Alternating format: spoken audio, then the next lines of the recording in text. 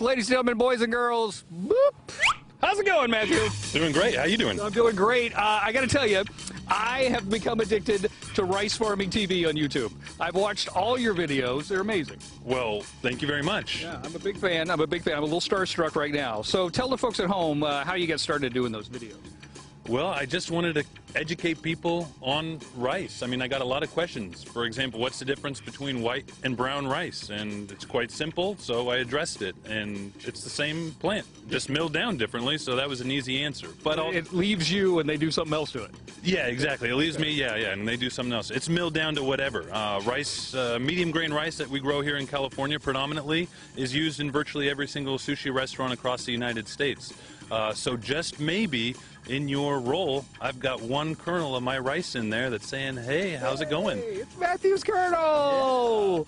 Yeah. Uh, okay, what kind of reaction have you gotten from the video?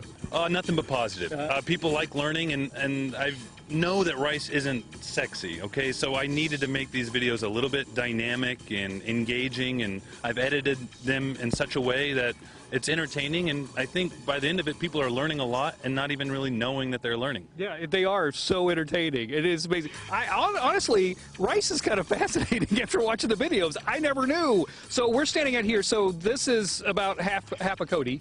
Okay. So it's almost ready to harvest, right? Yeah, that is a technical term we use. This is half a Cody, so it's about a, a month out from harvest. Okay, okay. Uh, it hasn't gone full Cody yet. Um, yeah. But yeah, we're, we're about a month out. We're standing in six inches of water. That's where our toes are nice and cool. Uh, we're going to drain that in about three days to dry out the ground so we can get heavy harvest equipment in here and start cutting rice. And then it goes out. And then it'll be on your plate some way, somewhere. Yeah, somehow, some way. It's going to get dried down. It's going to get milled to whatever end product, end consumer product that they want to use it for.